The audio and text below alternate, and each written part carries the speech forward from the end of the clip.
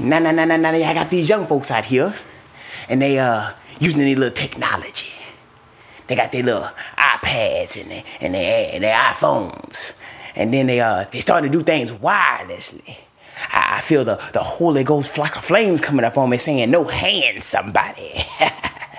All right. Now, now, y'all using your things wirelessly, and you got your little Raycons and your Samsungs, and they got the the the the the, the, the AirPods. Well, what you need to do is get you some Jesus pods. Bluetooth your blessing.